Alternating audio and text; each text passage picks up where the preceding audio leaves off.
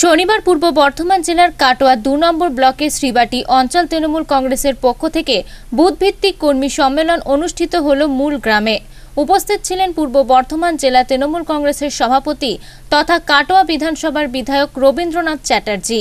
এছাড়াও উপস্থিত ছিলেন কাটোয়া দু নম্বর ব্লক তৃণমূল কংগ্রেসের সভাপতি পিন্টু মণ্ডল, পূর্ব বর্ধমান জেলা তৃণমূল কংগ্রেসের সাধারণ সম্পাদক সুব্রত মজুমদার, কাটোয়া দু নম্বর পঞ্চায়েত সমিতির সভানেত্রী নিষাদ সামন্ত অগ্রদ্বীপ গ্রাম পঞ্চায়েতের নিতাই সুন্দর মুখার্জি, শ্রীবাটি অঞ্চল তৃণমূল কংগ্রেসের সভাপতি কোরবান মিদ্দা, জেলা পরিষদের সদস্য তুষার সামন্ত সহ অন্যান্য নেতৃত্ববৃন্দ।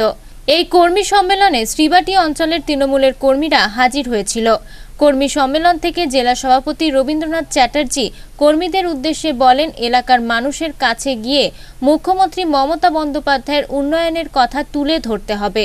ওখানে যেতে হবে না, ওরা আমাদের ভোট দেয় না, ওরা সব শিখিয়ে কিন্তু সেই লোকগুলো পাল্টেছিল বলেই তো তৃণমূল কংগ্রেস ক্ষমতায় এসছে। আবার সেই লোকগুলো চলে যাবে কেন? তাদেরকে আমাদের সঙ্গে নিয়ে আসতে হবে। মাননীয় মুখ্যমন্ত্রী যে সমস্ত প্রকল্পগুলো তাদের জন্য করেছেন সেই উপকারগুলো তারা পাচ্ছেন সেগুলো তাদের বুঝিয়ে বলতে হবে। আমরা বুঝিয়ে বলি না। অন্য একজনকে সেই সুযোগে ভেতরে ঢুকে গিয়ে বলে, এটা মোদি করে দিয়েছে। আর সেই লোকটা মাথায় সেইটাই ঢুকে থাকে যে এই সাহায্যটা ওটা মোদি করেছে।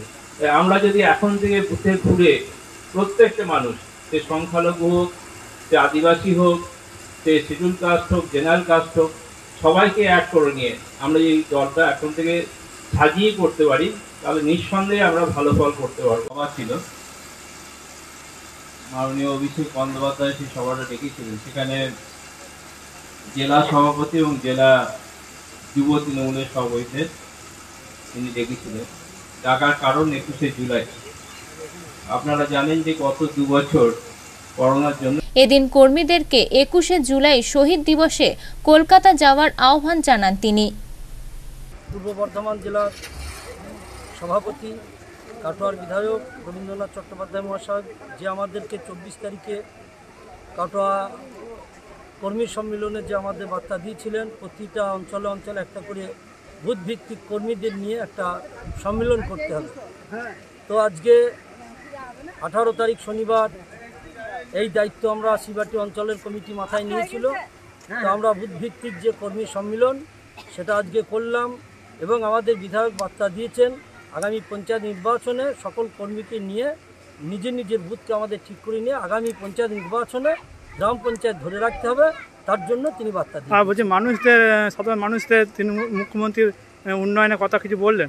হ্যাঁ উনি বলেছেন।